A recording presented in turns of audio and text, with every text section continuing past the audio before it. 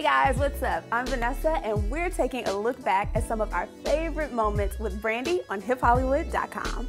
Now, I have to admit, I've been a huge Brandy fan since way back. I'm talking I Want to Be Down days. And over the years, I've been lucky enough to interview Brandy many, many times. And I'm not saying we're BFFs, but we've definitely bonded.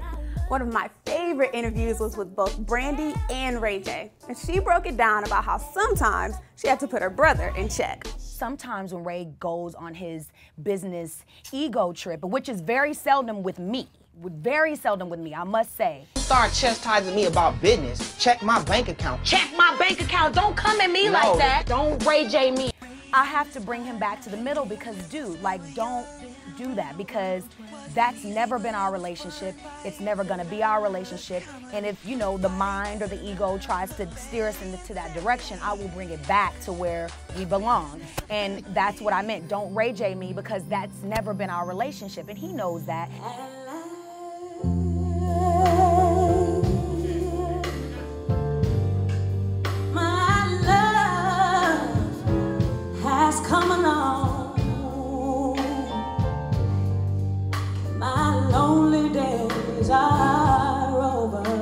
That was on display when Brandy played at Hollywood's Key Club. And I was fortunate enough to be there for the amazing sound check, and so was Ray J. When you perform, everybody that comes out and supports you, you know, you see those people and it makes you feel good and it makes you perform better and um, it gives you that sense of, of, of comfort to go out and have a good time and, and you know that there's there's people out there that's gonna support you no matter what happens. And during our girl talk time, Brandy also let me in on a very surprising little secret. I developed stage fright when I was very young. And ah. so, you know, to be a part of something so small, it doesn't remind me of, you know, that moment where I was completely like, oh my God, this is too crazy, this is too much. That probably explains why she prefers to play smaller venues when she performs.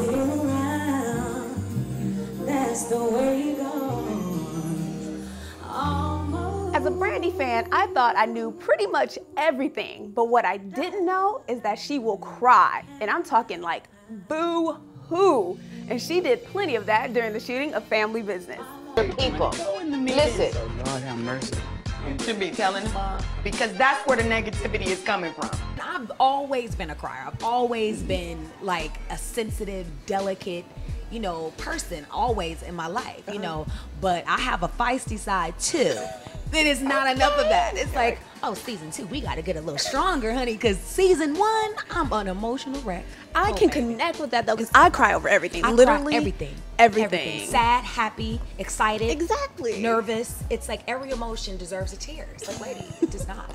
It does not. Of course, being famous and fabulous and glamorous means you have to have famous, fabulous, glamorous friends. And one of Brandy's closest friends is tennis champ Serena Williams, who earlier this year hosted an incredible house party here in LA. she's just she's just a loving affectionate loyal genuine person. Never have to question her intent. On top of that she's an inspiration. She motivates all of us to be the best we can be. She's a champion and i mean i'm kind of numb to her success now because she just wins all the time. So all she does is win. So i'm just i'm just happy to be you know friends with somebody like that that can also inspire me and encourage me to, to be the best brandy i can be